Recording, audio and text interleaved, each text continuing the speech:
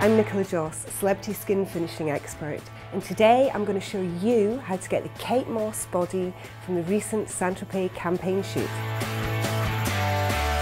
Saint-Tropez is trustworthy brand, people know it and it's a natural looking tan, that's what people want, they don't want something orange. And it is really easy to apply yourself. Stage one is preparation. I recommend you exfoliate the night before.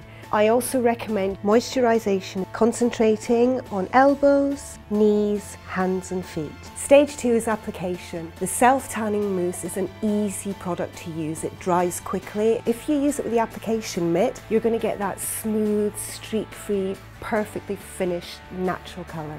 Apply two pumps of the product onto the application mitt using large sweeping motion for application onto the leg, starting above the ankle, sweeping up the knee to give that natural finish. Saint-Tropez has a new self-tan bronzing lotion for the face. Using the fingertips, massage gently into the face. Stage three is maintenance and skin finishing. Moisturise every day. Exfoliate the skin all over the body. This will keep the tan fading naturally and evenly. This programme is going to maintain that you have a great looking tan for up to five days.